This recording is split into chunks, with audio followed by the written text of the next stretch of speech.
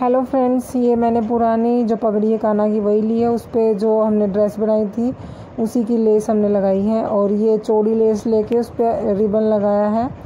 आप रिबन है तो रिबन लगाएँ, नहीं तो लेस भी लगा सकते हैं। और इसके साथ में आप इसको थोड़ा सा फिनिशिंग देने के लिए लेस लगा सकते हैं पतली वाली और इसको इस तरह से आपको फोल्ड करना है। तो आपको एक कलगी टाइप बनाना है और इसी तरह से मैंने तीनों को तैयार कर लिया है और इनको अब मैं इन पेस्ट कर दूँगी लगा के जो हमारी बेस बनाया है हमने। तो दोनों तरफ़ आप इसको पेस्ट कर दें और फिर जो हमने तीसरा बनाया है उसको सेंटर में आप पेस्ट कर दें। आपके पास अगर स्टोन वगैरह हैं तो आप और भी इसको डेकोरेटिव बना सकते हैं, लेकिन मैं यहाँ पे सिंपल आपको बना के दिखा रही हूँ। तो ये देखिए, इस तरह से आप इस, आपको ये पेस्ट करना है और ये तरीका आप छोटे बच्चे के लिए भी अपना सकते हैं। उसके अगर कान्हा जी की आपको पगड़ी बनानी है तो ये देखिए फाइनल लुक आप पगड़ी का। Thanks for watching